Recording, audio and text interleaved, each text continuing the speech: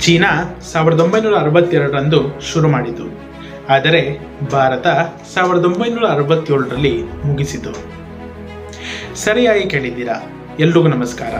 ನಿಮಗೆಲ್ಲರಿಗೂ ತಿಳಿದಿರುತ್ತೆ ನಾನು ಯಾವ ವಿಷಯದ ಬಗ್ಗೆ ಮಾತಾಡ್ತಿದ್ದೀನಿ ಅಂತ. ಸಾವಿರದ ಒಂಬೈನೂರ ಅರವತ್ತೆರಡರಂದು ಭಾರತ ಚೀನಾದ ಕುತಂತ್ರದಿಂದ ಸೋಲನ್ನು ಅನುಭವಿಸಬೇಕಾಗಿತ್ತು. ಆದರೆ ತನ್ನ ತಕ್ಕ ಪ್ರತ್ಯುತ್ತರವನ್ನು ಸಾವಿರದ ಒಂಬೈನೂರ ಅರವತ್ತೇಳರಂದು ಭಾರತ ಚೀನಾಕ್ಕೆ ನೀಡಿತು. ಆಗ ಸಿಕ್ಕಿಂ ಇನ್ನು ಭಾರತದ ಪಾಲಾಗಿರಲಿಲ್ಲ. ಆ ರಾಜ್ಯವನ್ನು ಒಬ್ಬ ರಾಜ ಆಳುತ್ತಿದ್ದ. ಸಾವಿರದ ಒಂಬೈನೂರ ಅರವತ್ತೇಳರಂದು ಸಿಕ್ಕಿಂಗೆ ಎರಡು ಆಯ್ಕೆಗಳಿದ್ದವು. ಒಂದು ಭಾರತದ ಜೊತೆ ಸೇರಲು, ಇನ್ನೊಂದು ಚೀನಾದ ಜೊತೆ.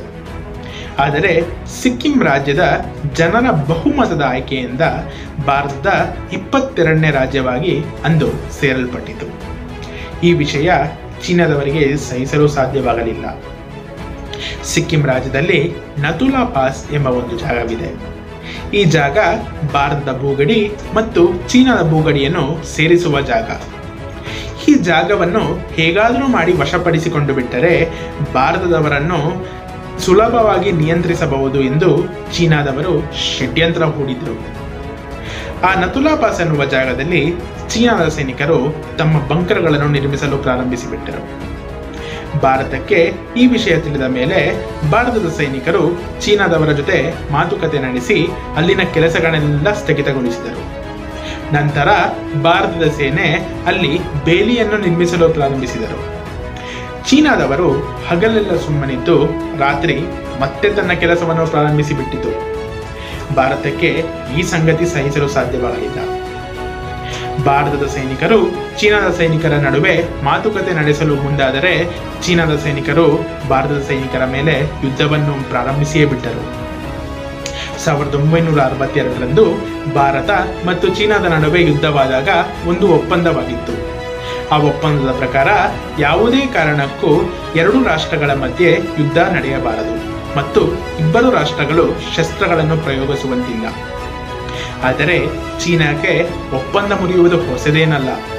ಚೀನಾದ ಸೈನಿಕರು ಭಾರತದ ಸೈನಿಕರ ಮೇಲೆ ಬಾಂಬರ್ಗಳನ್ನು ಪ್ರಯೋಗಿಸಿಯೇ ಬಿಟ್ಟರು. ನಮ್ಮ ಭಾರತದ ಸೈನಿಕರ ದುರದೃಷ್ಟಕರ, ಅಂದು ಬಾಂಬರ್ಗಳನ್ನು ಪ್ರಯೋಗಿಸಲು ಸಹ ಸರ್ಕಾರದ ಒಪ್ಪಿಗೆ ಅವಶ್ಯಕವಾಗಿತ್ತು. ಸರ್ಕಾರ ಒಪ್ಪಿಗೆ ನೀಡಲು ಸ್ವಲ್ಪ ತಡವಾಗಿದ ಕಾರಣ ಚೀನಾದ ಸೈನಿಕರು ಭಾರತದ ಸೈನಿಕರ ಮೇಲೆ ಹಲ್ಲೆ ಮಾಡಿಯೇ ಬಿಟ್ಟರು.